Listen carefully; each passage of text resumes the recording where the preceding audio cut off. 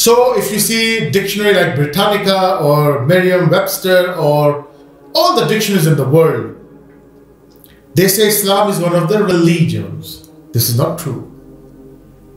Basically, the Western system does not have any word to describe Islam in a noun, either as a gerund noun or a normal noun. They can't explain. They don't have the word. So Allah says, In the Dina Indal Islam. now, the system, it also has political laws, social laws, economical laws. When you all collect these things together, that is Islam. All the other religions are called or could be called religions. We have no exception for that. I'm not the you know authority to speak on their on their behalf or about them. That's their headache. If Christian has no objection calling himself a religion, we have no issues with that. But Islam, please don't call us religion. It's a way of life.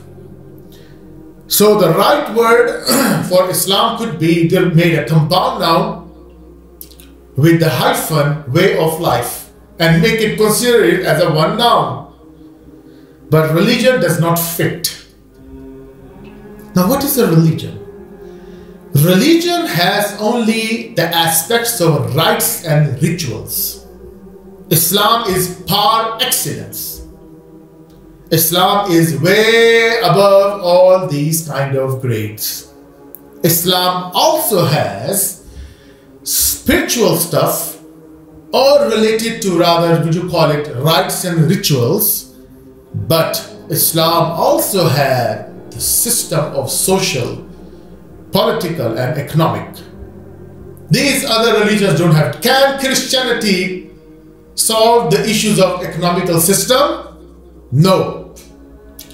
Can Judaism? Can Buddhism do it? None. The only religion on the surface of this earth which has a potential power within and kinetic power in them which can tell you the rest of the world to bring your problems. Bring your problems and Quran will supply the answer.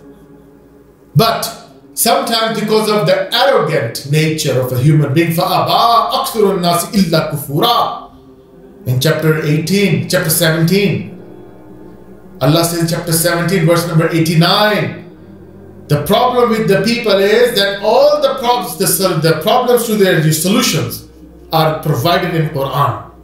But the problem is the bulk of the majority, they are puffed up with pride. Prejudices die hard. They are prejudiced, biased. They don't want to listen. So that is why. For 300 years, humanity is seeking for social justice from east to west and west to east. They couldn't have it. So this is the definition of Islam is the system. Clear? Let's move.